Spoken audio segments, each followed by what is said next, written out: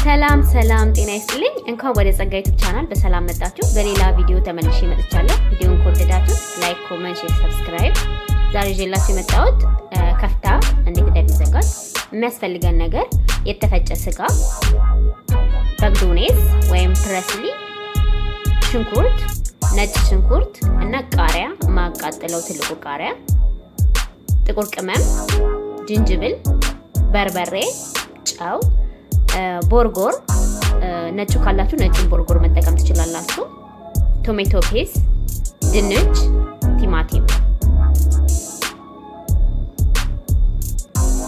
ቦርጎሩን ካጠብኩት በኋላ የተወሰነ ውሃ ጨምሬ ለአስር ደቂቃ የሚሆን እተወዋለሁ። ይኸው ሽንኩርቱንም ሁሉንም ከታትፌ አንድ ላይ ጨምረዋለሁ ስጋው ላይ።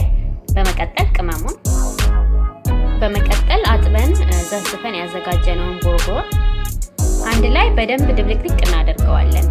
ማሽን ካለን መፍጨት እንችላለን። ያው እኔ ማሽን የለኝም፣ ስለዚህ በእጄ በደንብ ደባልቀዋለሁ። ይሄ የተፈጨውን ስጋ በዚህ መንገድ ወደ ከፍታነት ተቀይረዋል። ድንቹን ሰርክል ሰርክል ቆርጨዋለሁ። በመቀጠል ለተወሰነ ደቂቃ እንጠብሰዋለን። ምክንያቱም ጥሬው ሲሆን በሚበስል ሰዓት ሙክክ ብሎ ፍርክሽክሽ ይላል። ግን ትንሽ ከጠበስ ነው አቅም ይኖረዋል። ያኔ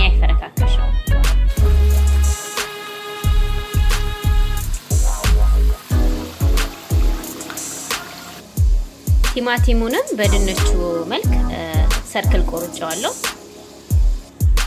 በመቀጠል ያዘጋጀነውን ከፍታ እንደ ድንቹ እንደ ቲማቲሙ ሰርክል አድርገን እንጨርሳለን ማለት ነው። በመቀጠል ድንች፣ በመቀጠል ቲማቲም፣ ሁለት ማንኪያ ቶሜቶ ፔስ፣ በላዩ ላይ ትንሽዬ ጨው፣ ውሃ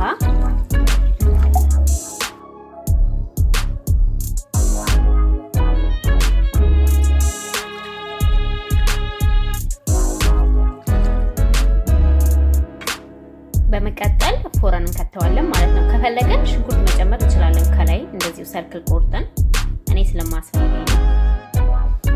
እኔ በዚህ መንገድ ጨርሻለሁኝ። ከወደዳችሁት በዚህ መንገድ መስራት ትችላላችሁ። አመሰግናለሁ።